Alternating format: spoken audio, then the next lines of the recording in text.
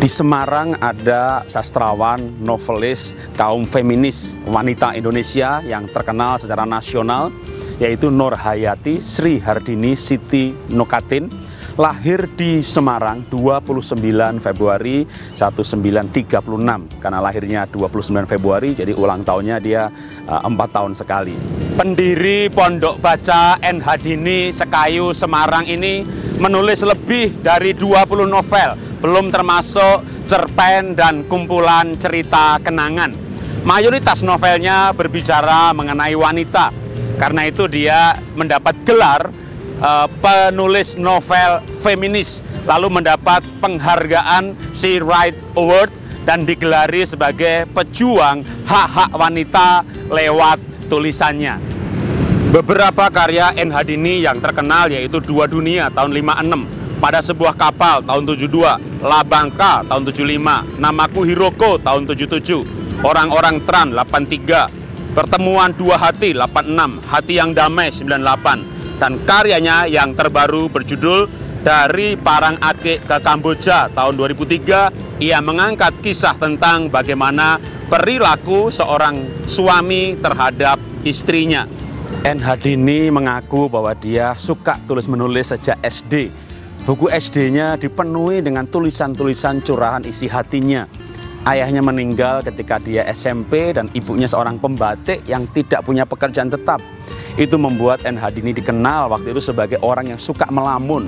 Tapi itu sebenarnya mengembangkan fantasinya.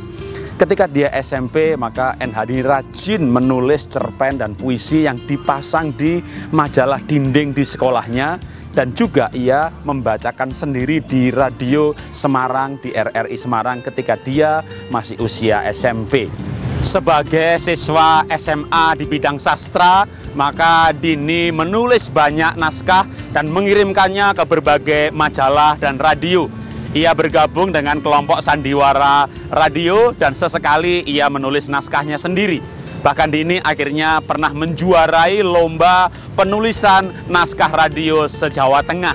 Ia menjadi anggota redaksi dari sebuah majalah remaja yang namanya Gelora Muda di Semarang.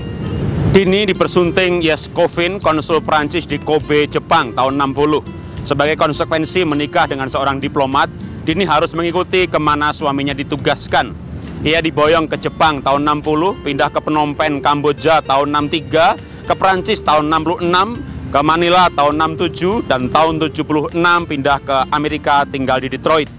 Kini Dini berpisah, cerai dengan suaminya Yeskovin tahun 84, dan kembali mendapatkan kewarganegaraan RI tahun 85 melalui Pengadilan Negeri Jakarta. Apa inspirasi yang kita bisa dapatkan dari kisah NH Dini ini? Di usia lanjutnya, 75 tahun, beliau pindah ke Yogyakarta, tepatnya di Sleman, mengabdi pada rumah baca yang bernama Graha Reda Mulia. Beliau menghibahkan 3.000 buku koleksi yang dimilikinya pada rumah baca ini dan mengabdi di sini. Itu buku selain yang 4.000 yang dia hibahkan di Rotary Club Semarang. NHD ini memang punya kehidupan yang tidak lurus, baik masalah dengan anak maupun perceraiannya tapi saya mendapat kesan yang kuat bahwa dia mau mengakhiri buku dari kehidupannya, bab terakhirnya, akhir hidupnya dengan mengabdi. Karena itu mari kita terinspirasi dengan hal ini. Anda mungkin punya bagian awal dari kehidupan atau tengah-tengah kehidupan yang penuh gejolak, penuh masalah, pernah berbuat salah, memakan orang lain. Tapi kemuliaan hidup manusia bukan kalau memakan orang lain, tapi menjadi berkat bagi orang lain. Dan NHD ini mencapai tujuan itu di akhir hidupnya, bahkan sebenarnya sepanjang hidupnya, dia mengabdikan, dia memperjuangkan, bukan hanya untuk wanita, memang khususnya dia memperjuangkan hak wanita lewat tulisannya, tapi kisah perjuangannya menginspirasi semua kaum bahwa hidup ini berjuang dan mengakhiri dengan pengabdian.